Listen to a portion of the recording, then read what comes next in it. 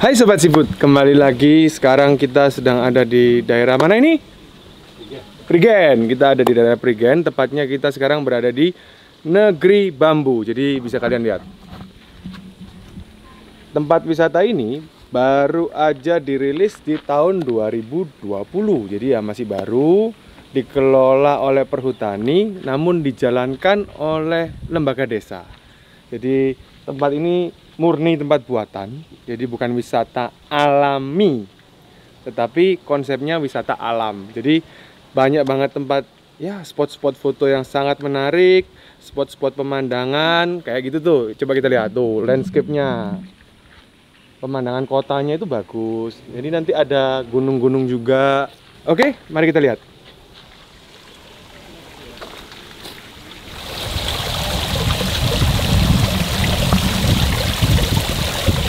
Nah, di tempat ini juga sangat memikirkan protokol kesehatan. Jadi kita bisa lihat nih kotak-kotak merah nih.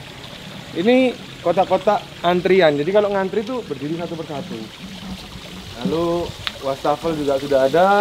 Tentu saja dengan air yang sangat bersih, sabun, desinfektan, dan ini adalah loketnya jadi nah ini. Dengan mas siapa mohon maaf? Yofi. dengan mas Yofi. Jadi gimana mas? Tempat ini mas? Uh, kita menyediakan tempat-tempat spot foto, bisa playground, bisa camping, ada outboundnya juga, ada kuliner. jadi udah lengkap banget ini ya? Ya bisa. Oh, hari ini kuliner buka terus? Buka.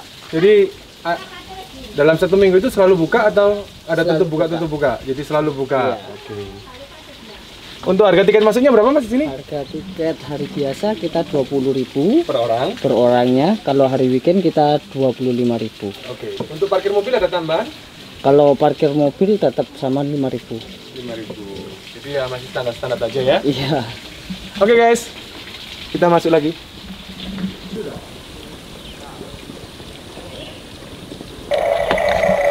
On off.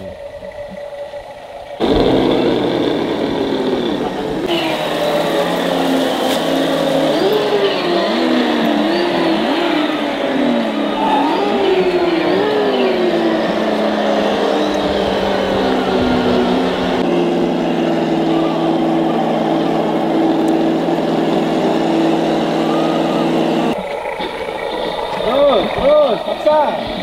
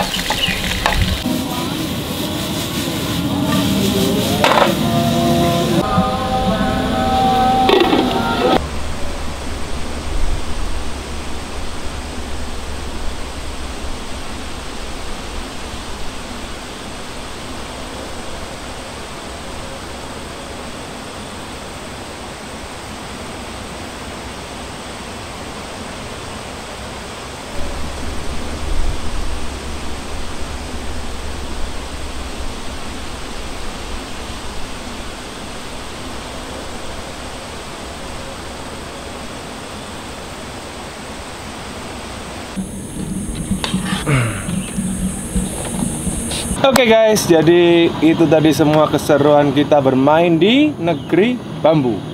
Jadi tempat ini itu melebihi ekspektasi ya, meskipun dia nggak alami, cuman bisa kalian lihat tadi segitu banyak spot-spot foto mulai dari kolam ikan, air terjun buatan, spot-spot foto dari bambu. Jadi ya menurut saya sih oke banget. Lalu ketersediaan air bersih, terus toilet, kafetarianya pun juga banyak banget menu makanan yang bisa kalian pilih. Jadi kalau menurut saya sih itu. Gimana kalau menurut Pak Jaya ini? tempat ini bagus ya sangat rekomend ya buat kalau mau istirahat mau santai-santai cukup cozy ya Nah, juga nggak seperti tempat-tempat apa ya bener-bener terawat lah intinya lah Kalau menurut Ogi gimana Gi?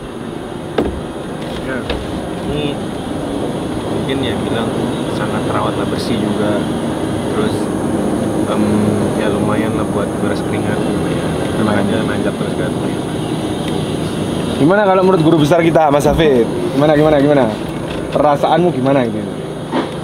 udah ke sini udah dua kali dan cukup cukup bagus untuk keluarga untuk ya untuk senang-senang gitu tempatnya oke keren tempatnya juga bersih banyak petugas-petugasnya juga banyak Ramah-ramah lagi tadi Iya. bantuin kita ya, ambil air.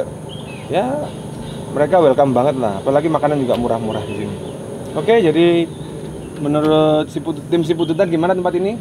Ratingnya? cukup recommended cukup recommended ya jadi bisa kalian coba ya nggak melulu lah orang hidup itu harus refreshingnya ke mall ke mana pun lagian tempat ini loh ya lebih kurang satu jam seperempat ya. Hmm. satu jam seperempat lah jalan-jalan Dari santai-santai dari Surabaya.